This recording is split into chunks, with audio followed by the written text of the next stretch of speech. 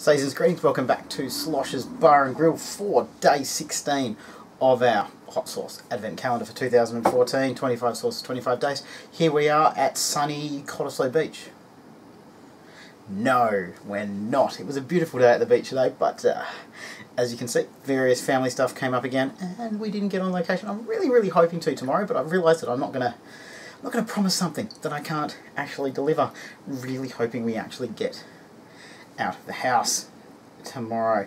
So what we are going to do for today's sauce, um, I just had to get that out of the way. I mean, I can't. I was considering putting up like a green screen and seeing if I could do that. Then I realised it was already 9:30 at night, and I have to get up early for the kids in the morning. So that would have taken far too long to learn how to use a green screen, um, find a green screen, and set up a green screen. So we have from Fire Dragon Chillies in New Zealand, we have gourmet chili sauce, which sounds really interesting.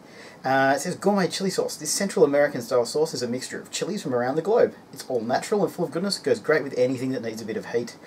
Um, it says shake well before use and refrigerate once opened. Ingredients in this order carrot, which is weird.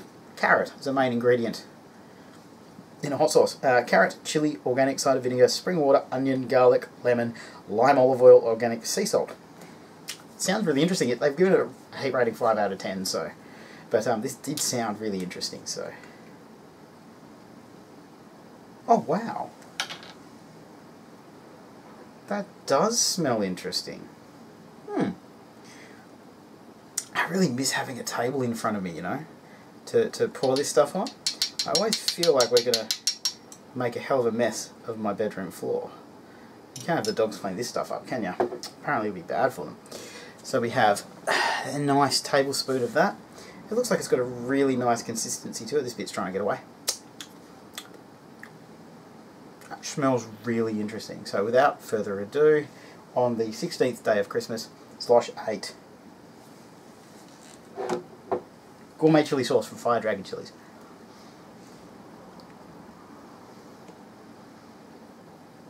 Mmm. Definitely taste the carrot. That's really interesting.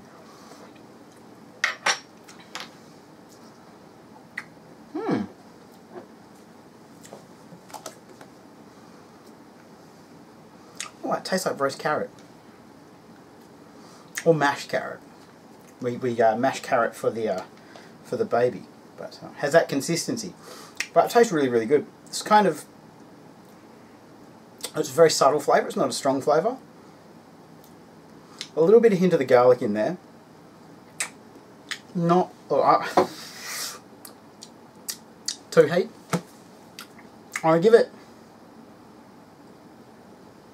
six flavour because I haven't tried it with anything. I think that'll be great on hamburgers. I think that'll be great on. I have to say pork because I always say pork. I think that'll be really good on lamb for some reason, like roast lamb.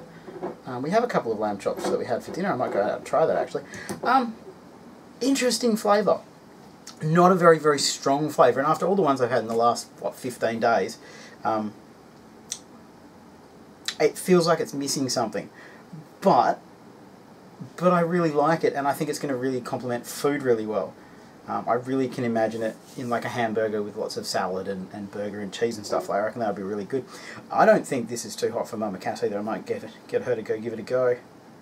So yeah, I'm gonna go. I'm gonna go six on flavour for this one, but I have a feeling that's because I've had so many, so many really really strong flavoured sauces in the past um, what, 15 days in a row. I'm going to give it two heat. Absolutely nothing wrong with this. I really like it. But, yeah, it just, it just feels like it's missing something. Hmm. Well, hopefully we'll be out on location tomorrow. I do apologise all you guys get to see is these books and this face. So, I'm going to try and get into Fremantle tomorrow. I don't know if it's going to happen though. So, as always guys, thanks for watching. Thanks for putting up with me every single day. And I will see you tomorrow. Merry Christmas.